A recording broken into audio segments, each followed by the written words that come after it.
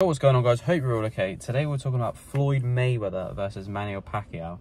So this was actually announced a while ago. Probably, I think it was announced like the 30th of December. Uh, Manny Pacquiao was on a boxing event and then all of a sudden he said, oh, I've got some big fights this year. I think it was on Rizin or Rising. Uh, he announced it, but apparently he was like, oh, I've got some big fights coming this year. And he turns around to one of the announcers, I assume, and kind of looks confused, and then the guy, the announce, uh, says uh, Floyd Mayweather.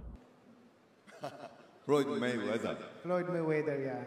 Yeah, I thought that you don't want me to say that. but, uh, okay, but I'm excited for that. Thank See, that's a big announcement, but to just do it, like just to say it like that is a bit, I don't know, it's, isn't that confusing to everyone? Like, why? Surely you want to announce by posting something, not just saying it. I mean, yeah, it could happen. It could happen at any point. Apparently, it's going to happen at some point in 2024.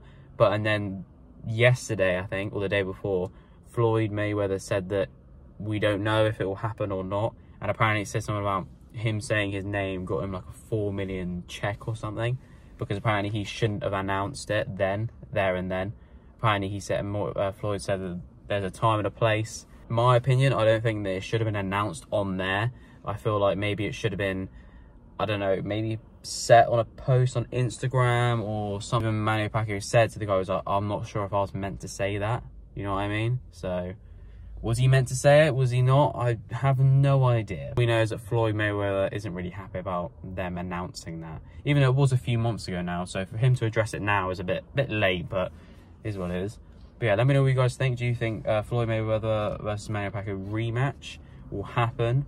this year in 2024 or will Floyd just not even bother? Because let's be honest, Floyd's 50 and 0. He's got all the money in the world. He's Floyd Money Mayweather. Like, come on, he doesn't need any more money. So if he was to do it, it would probably just be for fun, for his legacy. I mean, he's 50 and 0. It'll be it'll probably be an exhibition because of how old they are. Like Floyd's like 50 something now. So it'll probably be like an exhibition like with Logan Paul and Deji and the other few um, ones that he's been. I think one of them was a disqualification. So, yeah. But let me know what you guys think of Floyd Mayweather versus Manny Pacquiao. Do you think it will happen this year? Hopefully it does, because that will be another sick fight for 2024 in general. We've got some big fights coming up. but it's definitely uh, the start of 2024. So hopefully we can end 2024 on a big hit for boxing as well. But that's all from me, and I'll catch you guys in a bit.